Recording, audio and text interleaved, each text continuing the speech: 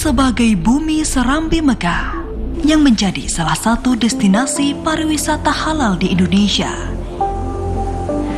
Provinsi Aceh kaya akan ragam suku yang hidup secara berdampingan dan mewarnai corak budaya setiap masyarakatnya.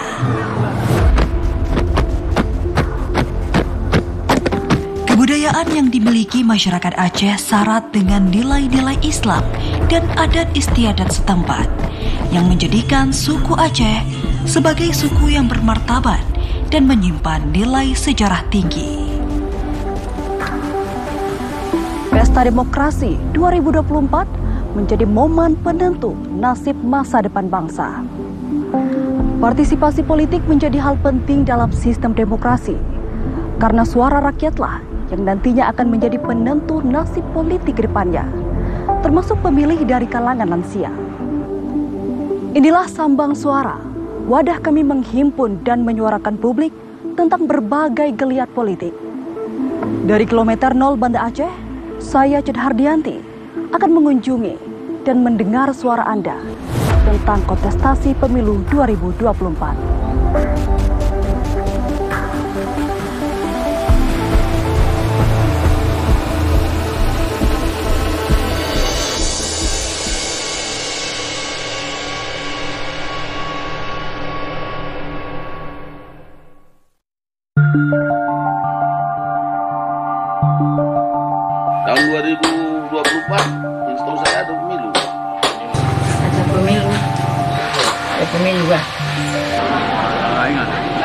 Tahu ada pemil pemilihan umum.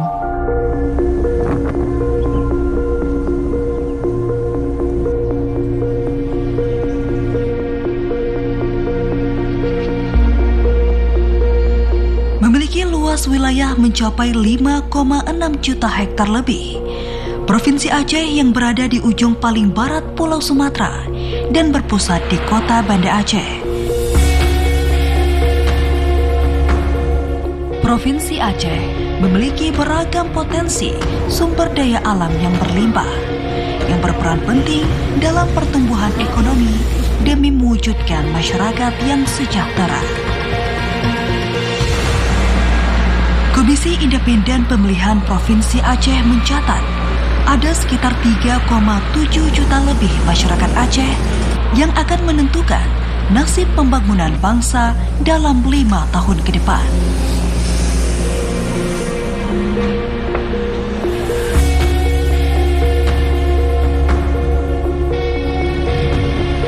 Memajukan pertumbuhan ekonomi daerah dalam kurun waktu lima tahun terakhir, pemerintah Aceh telah melakukan berbagai strategi dalam mendongkrak sejumlah sektor demi menciptakan lapangan pekerjaan bagi masyarakat. Kesejahteraan masyarakat menjadi tujuan utama dalam pembangunan suatu daerah.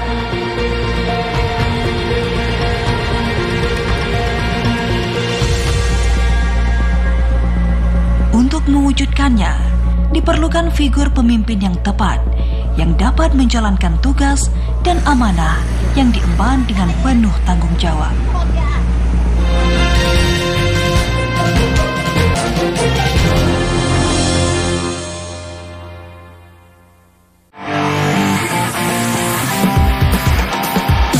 Anda pecinta olahraga? Perbaharui informasi Anda dengan menyaksikan Monitor Olahraga. Tayang 30 menit. Just switching it right at the last minute there. Certainly knows how to turn it on. And then you've got in. Di TVRI Nasional dan kanal digital TVRI Sport. Di dekat alun-alun Tuban ada makam Sunan Bonang. Menelusuri sejarah peradaban Islam di penjuru Nusantara serta membahas lebih dalam perkembangan dan penyebaran agama Islam di tanah air. Kerukunan dan toleransi antar umat beragama ini adalah bukti nyata. Jejak Islam setiap hari pukul 4 waktu Indonesia Barat. Makamnya terletak di Desa Gesik Harjo, Kecamatan Palang, Kabupaten Tuban.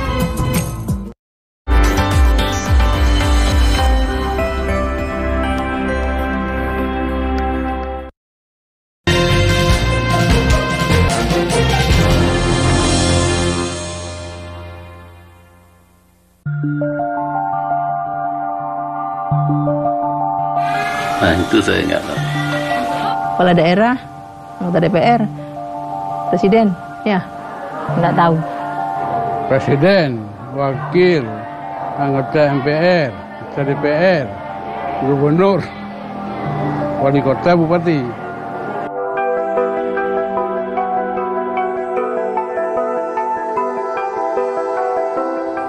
Di desa Gugajah yang berada di Kecamatan Darul Imarah Aceh Besar, saya yang ditemani kepala desa setempat berkesempatan menyambangi warga sekitar dari kalangan lansia untuk mendengar suara mereka tentang pesta demokrasi.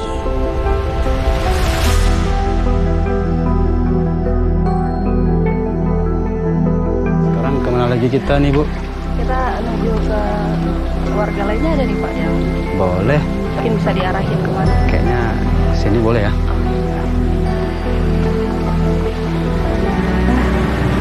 Berarti eh, ke depan makan menyona memang na umu na langkah kan? Yang mana mau pemilu. Ajak kan? Tak pilih orang-orang yang memang betul-betul nalah hati dia nyo. Betul-betul yang gek yang cocok yang menurut danyo pilih sama-sama. Kau kenal mak kan? Menjadi jantan mana? ah masih sabah siro orang siro suara. Satu orang satu suara. Kan sayang suara danyo itu ibu Dengar ni dia ada. Lebih get nyomak ikut. Setelah menyusuri dan berbincang langsung dengan warga setempat, ternyata tidak sedikit dari para pemilih lansia yang masih dilanda kebingungan tentang pemilu. Menjadi tanggung jawab besar bagi pemerintah untuk mengubah ketidaktahuan masyarakat menjadi pengetahuan agar hak suara mereka dapat berguna menyambut pelaksanaan pemilu 2024 mendatang.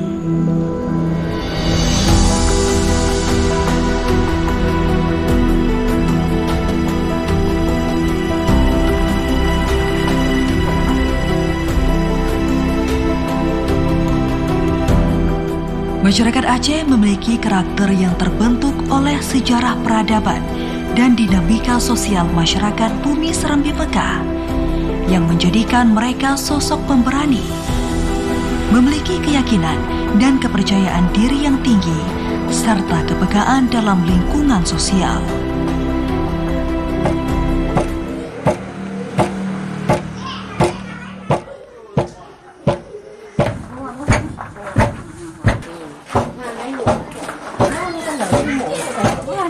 Assalamualaikum. Alam, Ibu Sona Bu? Husniati. Oh, Bu Usmiati. Ibu eh, Cik Suroro kegiatan di Tok Pade. Bu? Dok padi dak tupung. Oh. Nah, Ibu eh, apa han pemilunya tuh? Mana tupung? Hana Tofu. Kajian terakhir kali Ibu ikut pemilihan. Ini ada habis itu nama. Oh, kan habis tu no ada. Mana ada tupung ji kamu barai kampung. Sungai. Jadi Katrip Hantom ikut eh, Rendahnya sosialisasi menjadi salah satu penyebab kurangnya partisipasi mereka. Membangun kesadaran pemilih termasuk lansia menjadi tanggung jawab bersama. Karena suara mereka juga berpeluang dalam menyukseskan pemilu.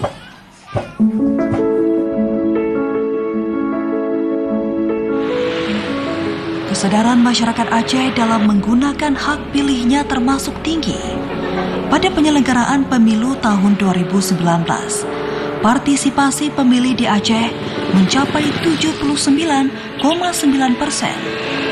Angka ini lebih tinggi dibanding target nasional sebanyak 77,5 persen.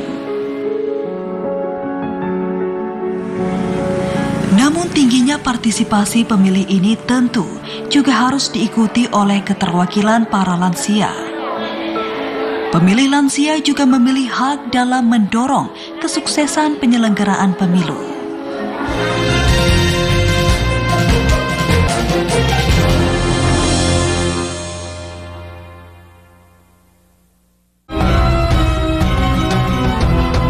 Di dekat alun-alun Tuban ada makam Sunan Bonang. Menelusuri sejarah peradaban Islam di penjuru Nusantara serta membahas lebih dalam perkembangan dan penyebaran agama Islam di tanah air. Kerukunan dan toleransi antar umat beragama ini adalah bukti nyata. Jejak Islam setiap hari pukul 4 waktu Indonesia Barat. Makamnya terletak di Desa Gesik Harjo, Kecamatan Palang, Kabupaten Tuban.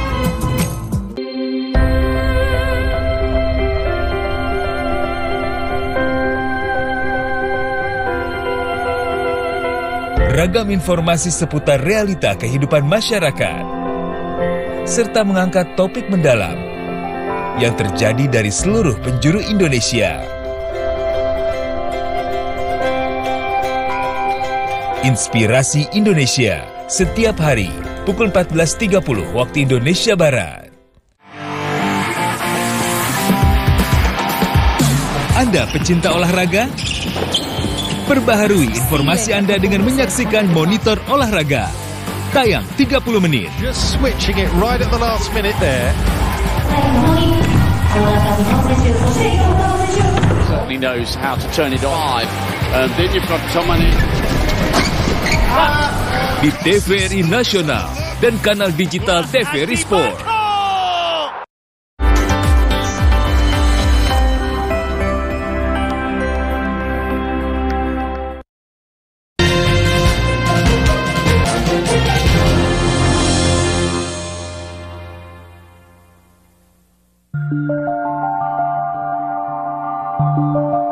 Daftar pemilih. Ya. DPT imunisasi.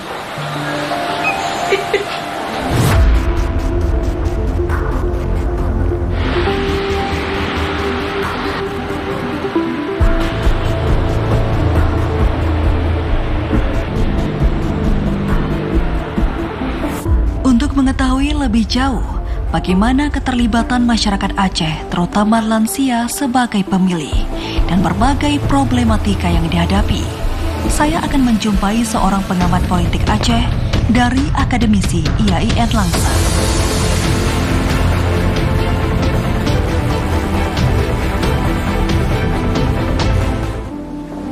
Assalamualaikum Bang Alkal. Waalaikumsalam. Apa kabar Bang? Kabar baik. Oke. Bang, ini kita mau bincang-bincang uh, santai singkat soal Oke. pemilu. Nah, ini uh, salah satunya soal DPT ya. Mm-mm. Nah, ini apa sih permasalahan DPT yang sering terjadi uh, selama ini?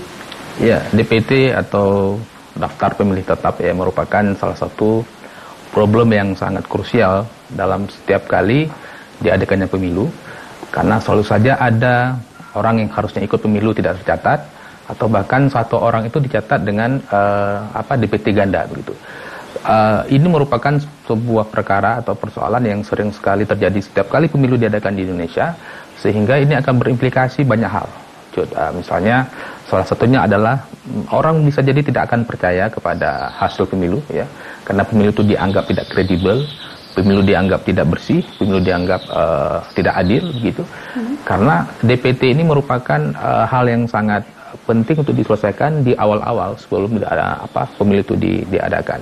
Karena begini, kita harus tahu bahwa pemilu itu adalah merupakan fondasi politik atau merupakan sebuah eh, cara kita hidup bernegara, ya, berdemokrasi, ya, berbangsa dan bernegara sehingga kita harus memastikan bahwa pemilu ini berlangsung dengan jurdil ya, berlangsung dengan jujur adil sehingga kita harus memastikan bahwa DPT itu harus benar-benar eh, valid, benar-benar eh, komprehensif dan benar-benar eh, sehingga akan men- akan membuat kita orang percaya bahwa pemilu ini akan berlangsung dengan adil dan baik begitu.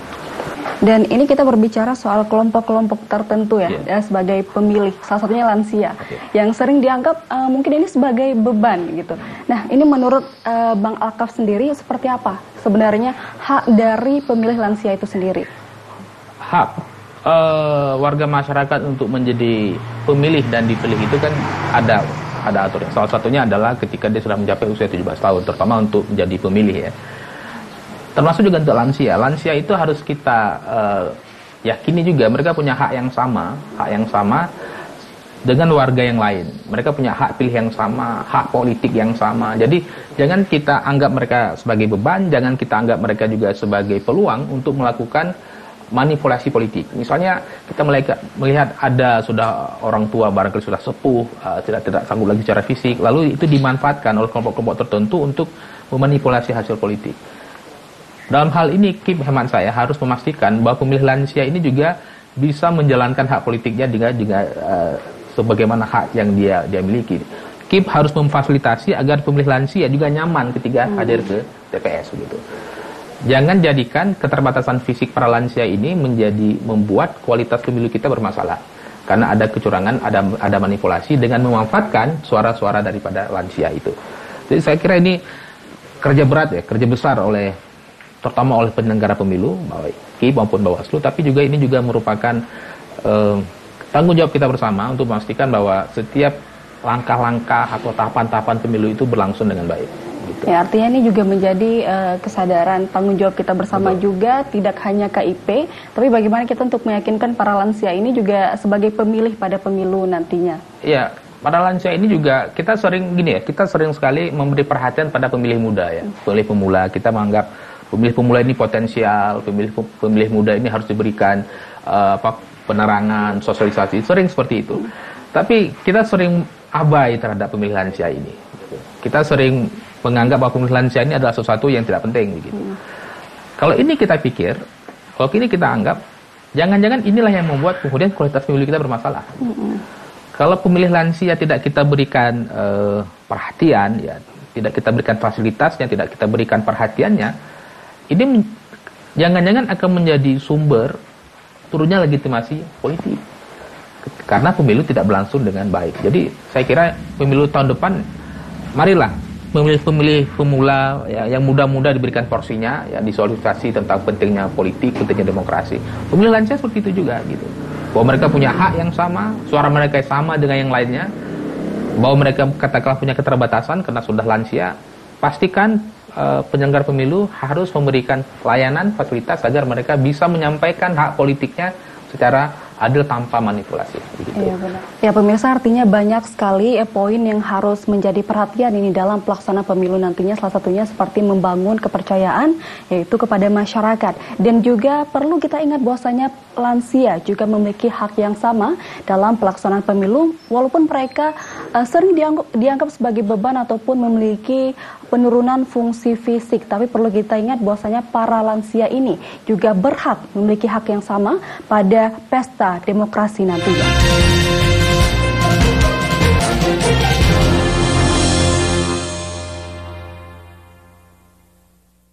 Mak mak babu man kada.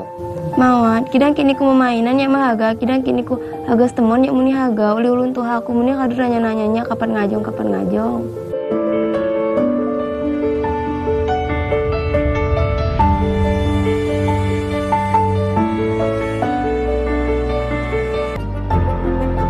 Dan sampai ni kung hindi na Tuhan hulon.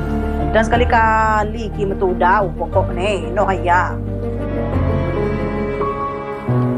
Di saat emak riba ngebaca sukat hinji, halo mepi kaduma dilang banjo lagi mak. Mepi kilumahap kulima nanggu. Kuti dan wateh mak. Mepi dija dalam keadaan sehat ri aman.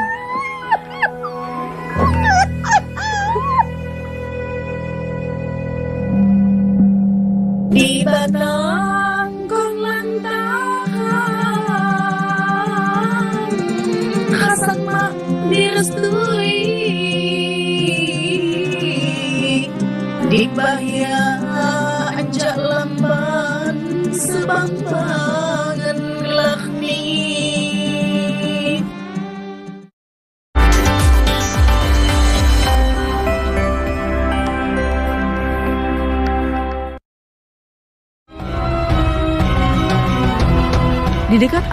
Tuban ada makam Sunan Bonang. Menelusuri sejarah peradaban Islam di penjuru Nusantara, serta membahas lebih dalam perkembangan dan penyebaran agama Islam di tanah air. Kerukunan dan toleransi antarumat beragama ini adalah bukti nyata. Jejak Islam, setiap hari, pukul 4 waktu Indonesia Barat. Makamnya terletak di Desa Gesik Harjo, Kecamatan Palang, Kabupaten Tuban.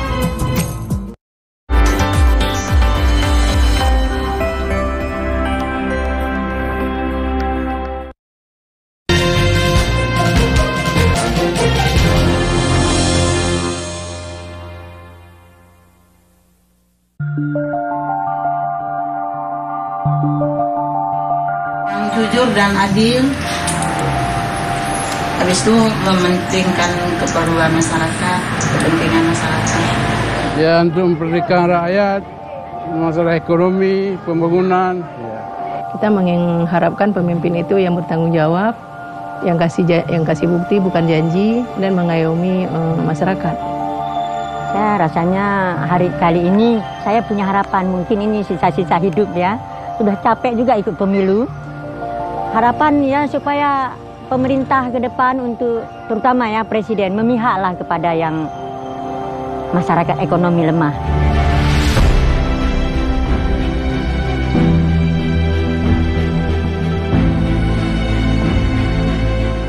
Membangun kesadaran masyarakat untuk berpartisipasi dalam kontestasi pemilu tentu tak luput dari peran Komisi Independen Pemilihan KIP.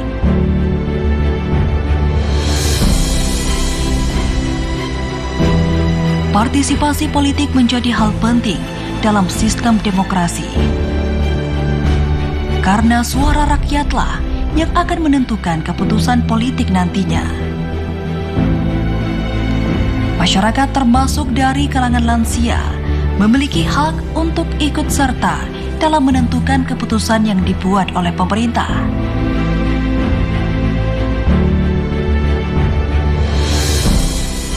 Itu diperlukan berbagai upaya untuk dapat meningkatkan partisipasi para pemilih. Salah satunya dengan melakukan pendekatan serta sosialisasi dari pihak KIP. Assalamualaikum Pak Samsul. Waalaikumsalam. Apa kabar? Apa kabar Pak? Baik, Alhamdulillah. Pak Samsul gimana nih kabarnya? Ya, Alhamdulillah baik. Nah Pak, ini Gimana? kita bincang-bincang sedikit soal partisipasi politik ya pada pelaksanaan pemilu 2024 nanti. Salah satunya untuk kalangan lansia. Nah ini seperti apa sebenarnya eh, pentingnya keterlibatan para lansia ini Pak? Iya, baik ya. Eh, keterlibatan lansia saya rasa sangat penting ya bagi menentukan ya calon kepemimpinan ke depan lima tahun ke depan baik legislatif maupun eksekutif. Nah pengalaman di pemilu-pemilu sebelumnya itu keterlibatan mereka itu sangat tinggi ya karena di Aceh mereka rata-rata kan lansia itu ya mereka mendapatkan mungkin wajengan dari para ulama, para tuku-tuku daya bahwa di Aceh kan uh, dengan syariat Islamnya itu memilih pemimpin itu wajib.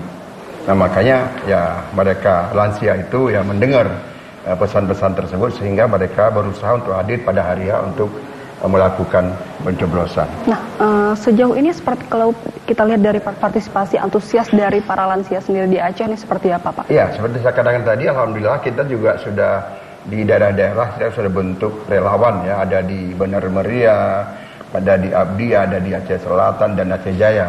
Nah laporan-laporan daripada relawan tersebut ya alhamdulillah partisipasi ke depan saya pikir lebih bagus lagi.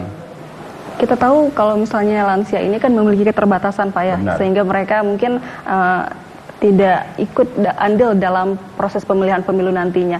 Mungkin dari pihak KIP sendiri ada tidak eh, semacam prosedur yang membedakan itu daripada kalangan lainnya?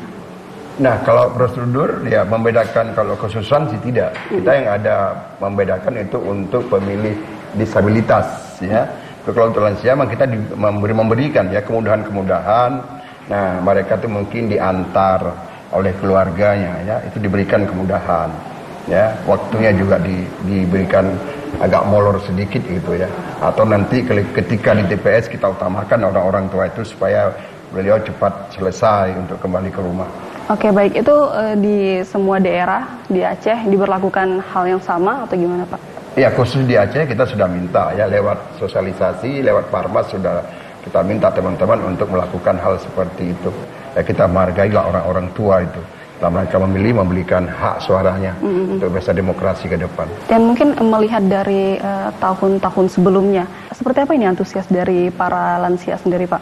Nah, kita melihat tahun 2017 kemarin ya, di tahun 2000 pemilu yang lalu memang partisipasinya kurang ya. Di 2017 kemarin ya kita juga membentuk relawan, membentuk relawan demokrasi itu per apa namanya eh, per golongan. Itu ada ada nanti di kalangan anak muda.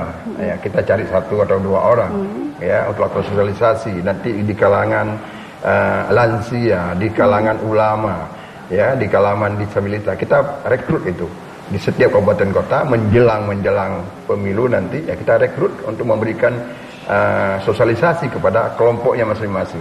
Artinya uh, di setiap kalangan itu ada relawannya masing-masing. Ada relawannya. Nah sehingga di pemilu kemarin kan tingkat pemilihan, tingkat pemilih itu naik.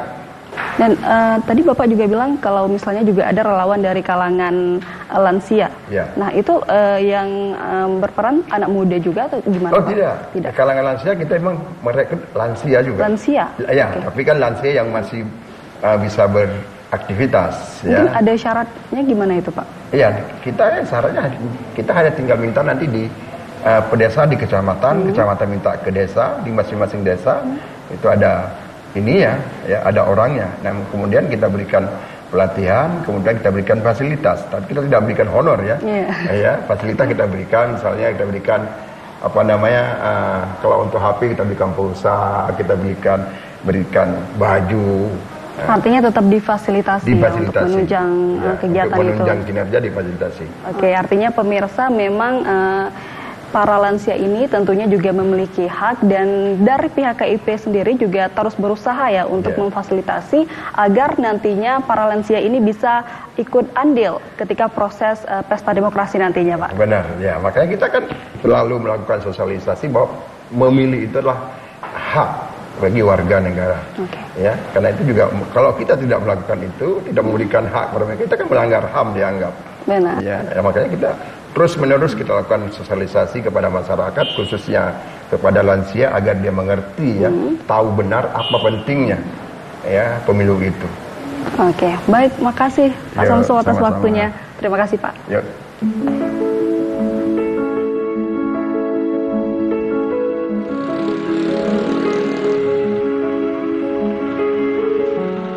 Keterbatasan lansia bukan menjadi penghalang bagi mereka dalam menggunakan hak pilihnya. Suara lansia turut menentukan nasib pembangunan bangsa ke depan. Sehingga butuh peran dari semua pihak dalam memperjuangkan agar hak pilih mereka tidak terancam.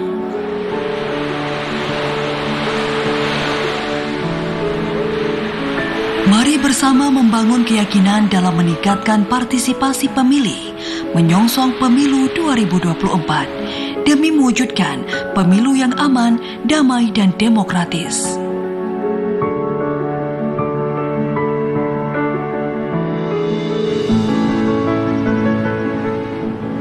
Keikutsertaan lansia dalam pemilu menjadi hal penting. Keterbatasan yang mereka miliki bukan menjadi suatu permasalahan dalam menentukan hak. Tinggal bagaimana kita bersama-sama bertanggung jawab dalam membangun kesadaran dan memberikan pendampingan kepada mereka demi suksesnya kontestasi pemilu mendatang. Lansia bukanlah beban, tapi solusi dalam menyukseskan pemilu. Akhirnya saya Cud Hardianti pamit undur diri. Sampai jumpa.